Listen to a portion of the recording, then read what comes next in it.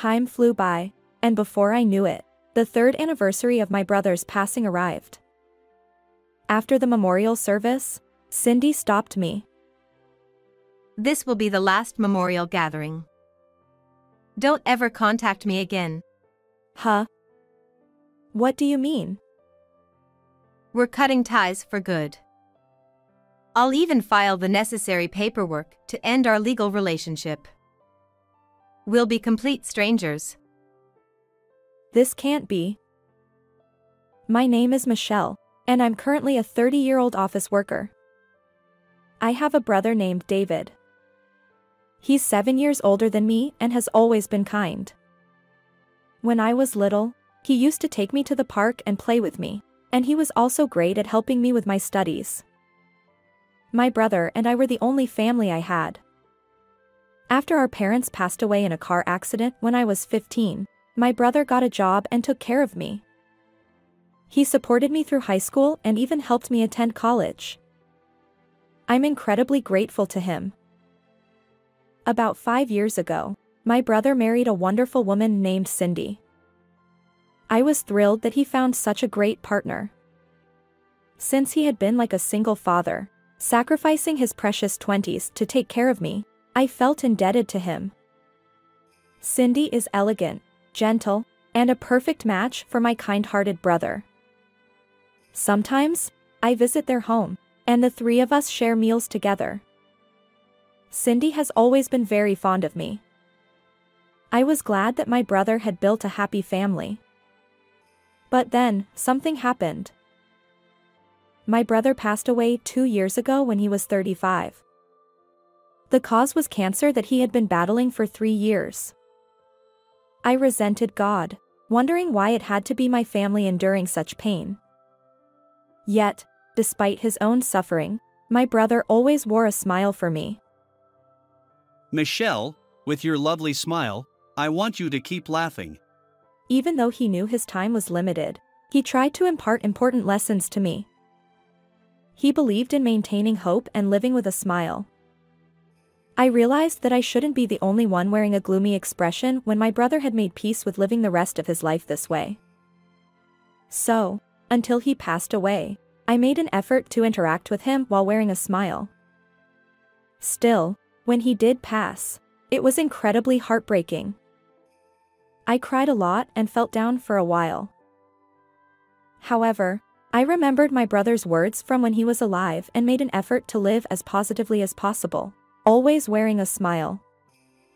Even though I still haven't fully overcome my brother's death and sometimes feel like crying out of the blue, I know I need to live with a positive outlook. For my brother's sake. About three months after my brother's passing, I visited Cindy, my sister-in-law. However, I was surprised by her appearance, specifically, her clothing. She was dressed in high-end designer outfits, prominently displaying logos. Previously, Cindy had been fashionable but never overtly flaunted her wealth. She used to have a modest and refined image, but now she looked like an Instagram influencer, beautiful on the outside, but it was hard to tell how she earned a living. Michelle, what brings you here all of a sudden? Cindy asked. Oh, well, I was just wondering how you've been. I'm doing well. Cindy said cheerfully. I felt shocked. It almost feels like she has fully adapted to life without him. While I didn't want her to be perpetually sad, and ideally, she'd find a way to recover from my brother's passing. However, it's disheartening that despite it being only three months since my brother's death, she seemed so detached or unburdened. Had he not been such an important presence in her life? It made me wonder if Cindy had already grown accustomed to living without him. As time passed, the third anniversary of my brother's passing arrived. After the memorial service, Cindy, my sister-in-law, stopped me. This will be the last memorial gathering. Don't ever contact me again. What? What do you mean? We're cutting ties completely.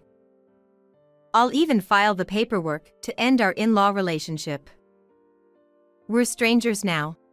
Cindy said, smiling. Why? How could she? I wondered if Cindy truly loved my brother. Her actions left me questioning. The day after the third anniversary, I had a day off from work.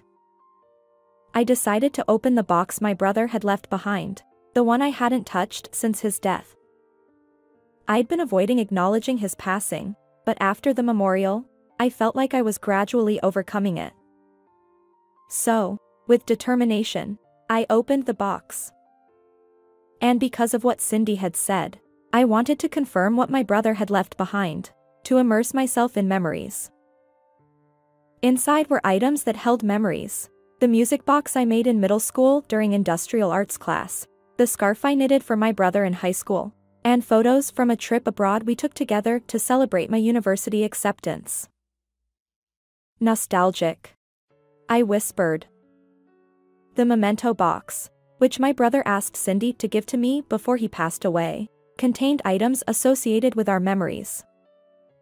As I looked through its contents, I reminisced about the moments we shared. He lives on forever in my heart. When I saw the things in this box, I felt like I had finally truly overcome my brother's death. Ultimately, you continued to encourage me until the end. I mused. I wound up the music box, and sweet melodies filled the air. Suddenly, the sound stopped midway.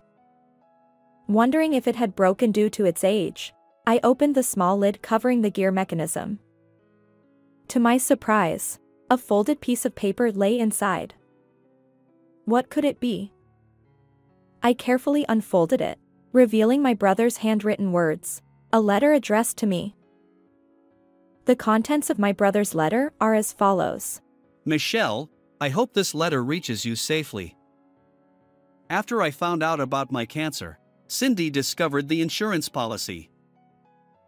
Insurance? You see, I had intended to name you as the beneficiary. Since I'll be gone, and you won't have any blood relatives left, it seemed fitting. Life is unpredictable, and even if I were to marry, you would still be the most important person to me, my beloved sister, Michelle. So, despite getting married, I didn't change the beneficiary to Cindy. Furthermore, as our marriage progressed, I began to suspect that Cindy was more interested in my earnings.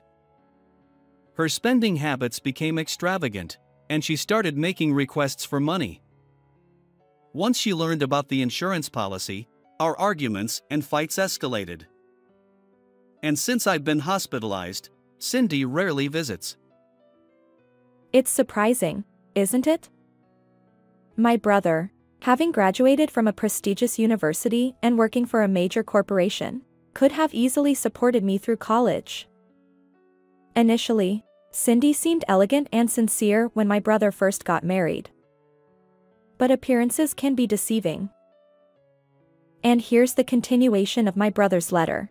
Perhaps Cindy has somehow changed the beneficiary of the insurance from you to herself. So if my insurance money doesn't come to you, it's a complete crime.